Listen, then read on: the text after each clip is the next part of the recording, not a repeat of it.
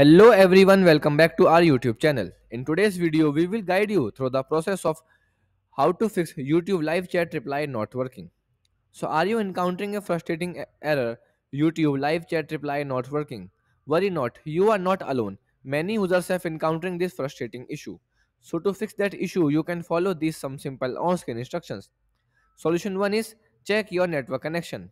Sometimes YouTube live chat reply error occur due to a poor internet connection. Ensure that you have a stable and reliable internet connection. To check, you can simply open your web browser and here you can type speed test. After that, a website will be open by Ookla. Here you will simply click on go to check your network speed. It will take 10 to 15 seconds to show the results. So after that, if the internet speed is slow, so the issue might be from your router end. So you can simply navigate to your Wi-Fi or router settings and here you can simply disable it and then wait for 10 to 15 seconds.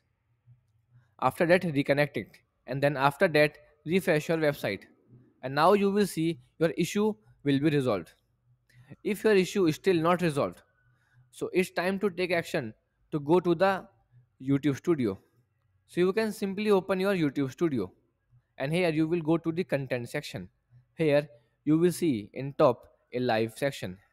Here you will sim- simply open your live video and then go to customization. Here you will see a live chat reply button is unchecked. You can simply click on button click on this button to check it. After that save these settings and now you will see that your issue will be resolved.